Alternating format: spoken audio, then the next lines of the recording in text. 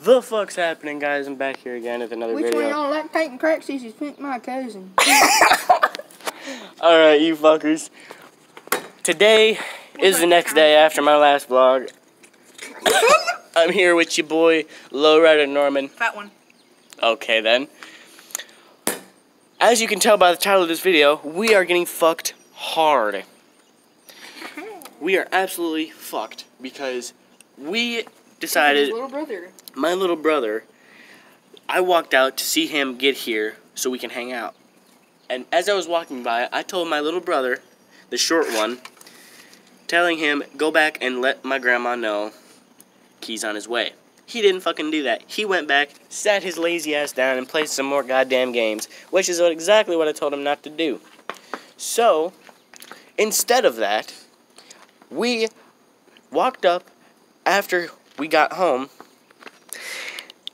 We walked up the stairs. I opened the door. They flipped shit. Because Literally. literally, they flipped shit. They had no idea we were going to be there today. They thought we were coming tomorrow. So- coming around. Well, they thought he was coming tomorrow. My bad. Sorry, guys. I don't have my edits yet. Hmm. But so Coming soon. Answer, where's that edit? I heard that shit. I heard that. My camera got that. Yep. So yeah. Anyway, we just called Norman's mom, and we are going to be back here. And Waiting I'm probably about to get killed. Yeah, he's probably about to just Look, I'm the literally. most flexible fat person you've ever seen. yeah, he's about to actually get the shit knocked out of him, Oh, if not worse. my, I just pulled my ball. I pulled my ass. Well, we're waiting for his mom to get back Oh, to pick us Who's up. that? Who's that? We're about to get kidnapped. No, the fuck we ain't. He kidnapped us. He got about 30 witnesses out there. And in a. So, pretty much, we're waiting for her to pull in and pick us up. I'm gonna do my vlogs while I'm over there, though. All we're gonna be doing is basically, probably more than likely, fucking around.